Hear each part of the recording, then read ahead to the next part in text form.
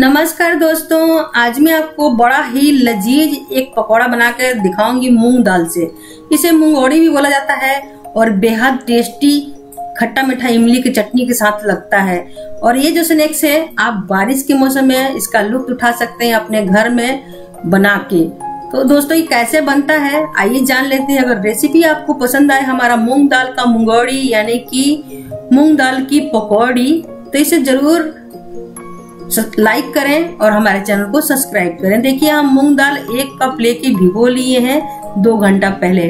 अब इसे छान के हम थोड़ा सा एक चम्मच पानी डाल के पीसेंगे। ज़्यादा पानी नहीं डालेंगे। ये देखिए, इस तरीके से एक चम्मच पानी डालिएगा, पीस जाएगा। और आपको दरदरा ही पीसना है। इसमें आप कटा हुआ मिर्ची, नमक और धनिया स्वाद अनुसार मिला लें। जितना आप मिर्ची खाते हैं उतना, और नमक अपने स्वाद के अनुसार। अच्छा से इसे फेंट लें। हाथों से फेंटना है। बहुत ही झटपट पाँच मिनट में बनने वाला ये मुंगौड़ी की रेसिपी है। ये जो बड़ी बनता है ना, इसका जो स्वाद है, पूरे खुशबू आने लगता है, पूरे आपके किचन में खुशबू आने लगेगा। तो एक बार आप ज़रूर बनाइएगा सौंधी सौंधी खुशबू आएगा। ये देखिए, अब ये बड़ी बनने के लिए तैयार है। तो तेल हम गरम कर लिए हैं। जो भी तेल आप खाते हो, उसे गरम कर लीजिए। उसके बाद हाई फ्लेम पे ही इसे डालिए। थोड़ा सा हम डाल के चेक करेंगे। तो देखिए, इसमें से बबल बहुत अच्छा आ रहा है। तो तेल हमारा गर्म हो गया है।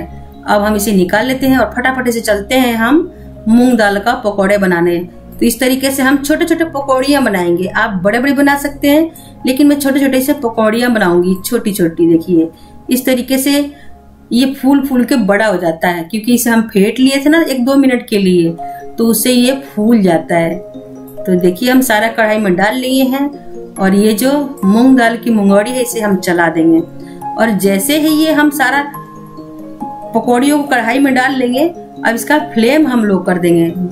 यानी कि हमारा जो तेल का टेम्परेचर लो करके उसके बाद इसे पाँच मिनट तक तेल में ही रखेंगे, जब तक ये करारा ना हो जाए। ये देखिए, लग रहा ना टेस्टी और लजीज, बिल्कुल करारे ये पकौड़े बनते हैं मूंग दाल की। और आप इस बारिश में, इस मानसून में ज़रूर ट्राई कीजिए।